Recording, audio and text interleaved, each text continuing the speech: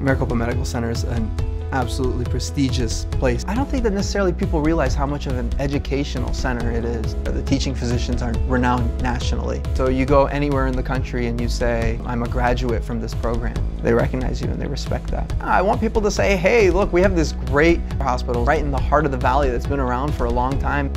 It's really rewarding seeing that what you're doing is making a difference. Because what really it all comes down to is making people better.